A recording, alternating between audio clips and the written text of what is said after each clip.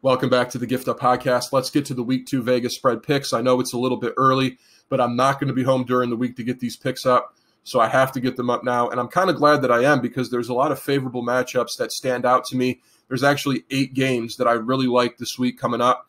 So let's start with the Giants plus five and a half versus Washington. I think that's just too many points. I know Washington has that really good defense, and we're anticipating them to physically manhandle the Giants in this game, but I don't think that's going to happen. Again, I know the Giants have some injury issues and things like that, but I don't think Washington is going to be able to establish themselves offensively consistently throughout this year. They don't have a lot to throw the football to. They don't have a really good offensive line. And on paper, right now, it's looking like they have a bottom five offensive line in the NFL. So if you're telling me that Washington isn't going to be able to run away with this game offensively, and you're going to keep giving the ball back to Daniel Jones, who's a better quarterback than Ryan Fitzpatrick, I'm taking the Giants. They have more weapons offensively than Washington does, too.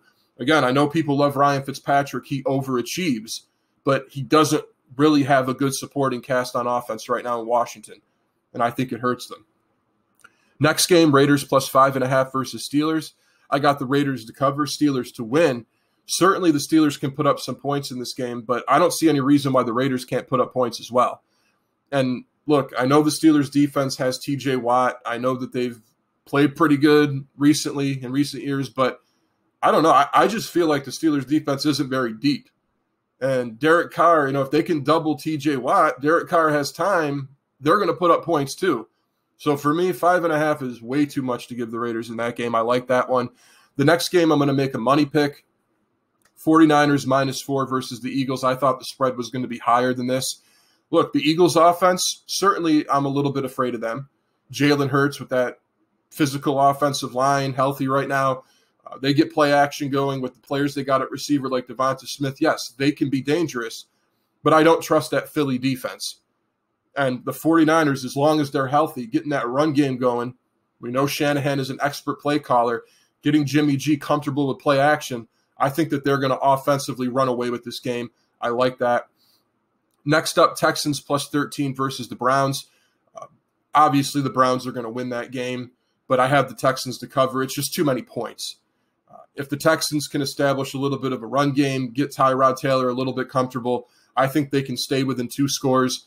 Uh, but that's one just to stay away from because, look, the Texans, they have so many problems.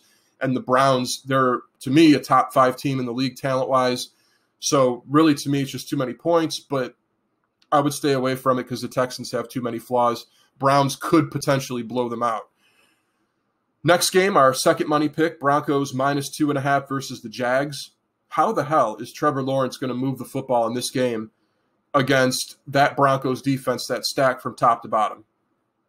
And also, with what the Broncos have on the offensive line and what they have at running back, I don't see any reason why the Broncos aren't going to be able to pound the crap out of that weak Jags front seven. Get Teddy Bridgewater comfortable. He's not going to have to do a lot in that game. Trevor Lawrence, a rookie going against that defense, to me, that's a give me. Only two and a half. I thought it was going to be five points or more. Next game, our third money pick Saints minus one and a half versus the Panthers. I got the Saints to win and cover.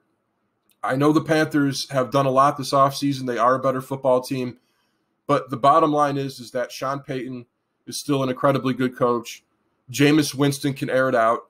They're going to get the run game going, the play action going with Alvin Kamara, and they're going to get comfortable offensively. And defensively, they're pretty damn good too. Outside of, you know, if there's major injuries, like if Lattimore or somebody can't go, then okay, I would maybe suggest staying away from it. But if the Saints are fully healthy, ready to go, and they're only minus a half against the Panthers, I'm taking the Saints. They're about to me, they're a better football team, even so with the offseason transition that they went through. Next game, Rams minus three versus the Colts. I got the Rams to win and cover. That Colts secondary worries me very heavily. The Rams are stacked at receiver right now. They, to me, even though they have the injury to Akers, I think they're still going to be okay at running back. I think they made the necessary moves there. Uh, Sony Michel, I think he's going to step up for them, and Henderson will be good too. They get Stafford comfortable with McVay's expert play calling. They take advantage of that Colts defense. Should be no issues. The Colts, as we know, love to run the football first. They don't have a lot to throw to at receiver. And you got Aaron Donald, who's a mammoth up front. I think they slow down Jonathan Taylor, and the Rams run away with that game offensively. Next game, our fourth money pick, and this this to me is the top money pick of the second week. Put your high beams on, uh, you know, the flashing stars in the sky. If you can make a bet on this right now, go do it. Because to me, it doesn't get any easier than this. This is the top money pick this week. Bills minus two and a half versus the Dolphins. I don't understand that at all. How are the Bills only how are the Bills minus six and a half this week against Pittsburgh, but they're only minus two and a half against the Dolphins? The Bills are going to beat the Dolphins by more than a field goal. So, I mean, remember how badly they beat the Dolphins at the end of last year? The Dolphins have gotten better, but I don't think they've gotten like a thousand times better. That's easy. That that's a give me. Next game, Patriots minus three and a half versus the Jets. I got the Patriots to win and cover. Bill Belichick is going to have a defensive scheme in place. He is going to outcoach Robert Saleh, and the Patriots are going to win this football game against the Jets, and they're going to win it methodically. Okay, offensively, this is not a game where Mac Jones is going to have a ton of pressure on his shoulders. The Jets don't have a pass rush. Carl Lawson out for the season. So Mac Jones with a comfort level they're going to be able to get the run game established with Rhamondre Stevenson. Patriots win and cover that game. I actually really like that one too. That that point spread's probably going to go up as the week goes on, so I like that. Uh, next game, uh, another money pick: Bengals plus four versus the Bears. For me, the Bears' offense is going to be very stagnant this year. I don't see how they're going to score a ton of points.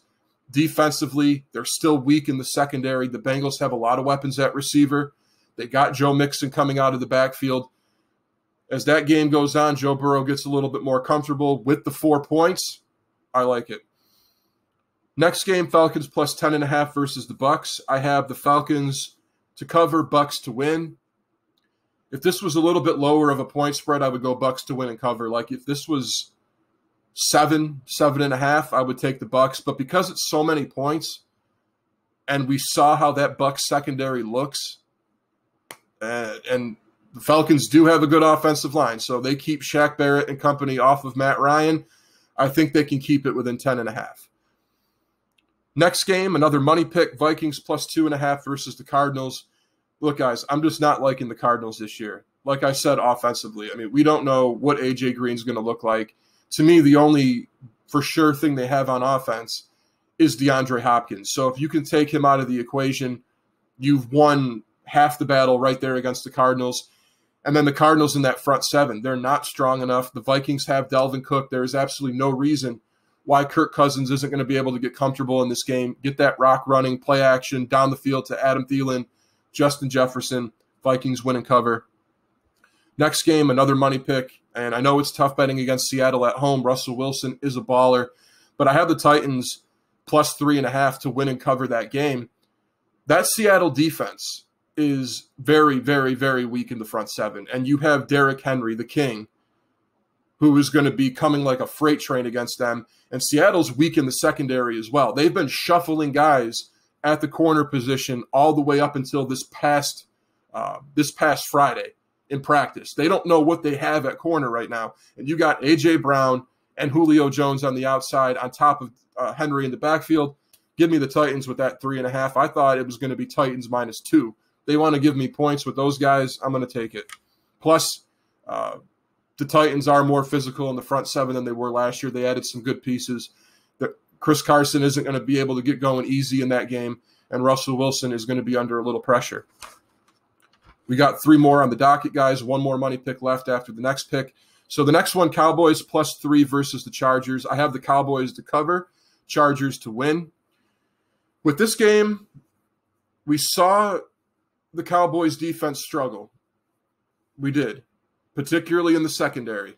It was an issue. I thought they were going to be a little bit better than that. I know they went against a great Tom Brady in that offense, but they're going up against Justin Herbert, who broke the rookie record for touchdown passes last year. He has more weapons to work with. Everybody's fully healthy, ready to go. They have an improved offensive line. The Chargers are going to be able to put up some points in this game, and the Chargers also have a better defense, in my opinion, than the Dallas Cowboys do. So to me, the Chargers are going to win this game.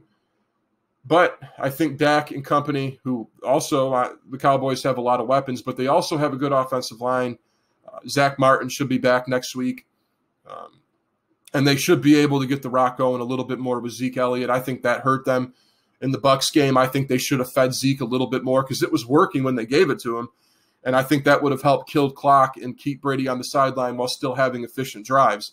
So I think the Cowboys are able to keep this really close because they're going to focus on the run game a little bit more, keep the Chargers offense on the sideline. But the bottom line is when the Chargers are on the field, I think they're going to score. So Cowboys cover, Chargers win. Next game, money pick. Chiefs are only minus two and a half versus the Ravens. Now, I respect the Ravens. I do. But if the Chiefs are going to win this game, it's going to be by a field goal or a little bit more.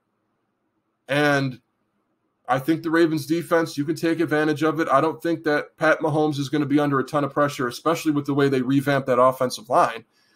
And then defensively for the Chiefs, they're ready to go. That front seven is looking good. The addition of Jarran Reed up front with Frank Clark, uh, you know, you got, and also um, in the interior, that defensive line, we know they're damn good as well. I don't think the Ravens are going to be able to establish the read option like they want to. I really don't. Uh, Spagnuolo is one of the better defensive coordinators in the league. The Ravens don't have a ton of weapons at receiver. It's just, to me, it's just too easy to figure out if you're an opposing defense. And the Chiefs have all the tools. They got better in the trenches this offseason, only minus two and a half. That's our final money pick. A lot of money picks this week, guys but these early spreads are giving us something to work with. And we're going to cap it off with the Lions plus 11 and a half versus the Packers. I have the Lions to cover, Packers to win. It's just too many points for me. I thought it was probably going to be around the nine point area. 11 and a half is a lot. I don't really respect the Lions this year, but that Packers defense, you know, it's okay. It's all right, but I think you can put up some points against it. And if Jared Goff isn't under pressure throughout this whole game, I think they can keep it within 11 and a half. They're not going to win the game, uh, but they can keep it within that point range. Uh, but they're not they're not taking out Aaron the game Rodgers at home. So with that, guys, that's our week two spreads. Like I said, a lot of money picks, but doing them early sometimes helps out. But like I said, do your homework during the week. If there's injuries and stuff, and I made a, a money pick, but there's like a significant injury, use your head. Okay, uh, you know, try to be careful with that. But other than that, pounce on some of these ones, like I said. Um, Broncos only minus two and a half versus the Jags. Bills only minus two and a half against the Finns. Um, you know, even that Titans plus three and a half at Seattle. KC uh, only minus two and a half versus the Ravens. Those are some give me's, I think. A uh, little bit too easy. Uh, so with that, guys, make sure to hit the like button, share the videos, and subscribe. More videos are coming today.